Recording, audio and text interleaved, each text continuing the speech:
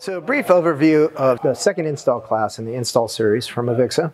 What we go over a lot is what we actually do to make sure the project is complete. Uh, we start off with project communications to make sure our communications are good throughout the project and make sure we're hitting our milestones.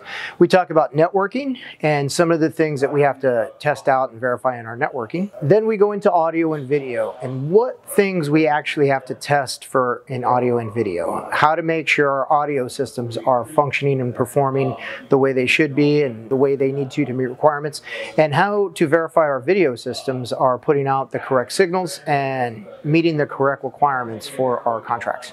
The benefits of this course really are getting the hands-on knowledge and experience that you would uh, need. If you haven't done this before, if you haven't experienced what testing and verification is like, if you haven't worked with the meters or you have not balanced an audio system, we go through the theory, we put the theory on paper, and we take those papers and that theory over to actual equipment and put it on the equipment. And it's a nice, safe space to be able to experiment. I encourage the attendees to make feedback and then get rid of it. I encourage the attendees to turn a knob too far and see what that's going to do. And it's a place to experiment with that. We don't want to experiment with that on the job site. So this is a great place to play around with it and really get comfortable. So when we go out to the job site and have to take a measurement or have to do some testing, we're comfortable and versed in that testing so we don't make mistakes on our on our uh, verification systems.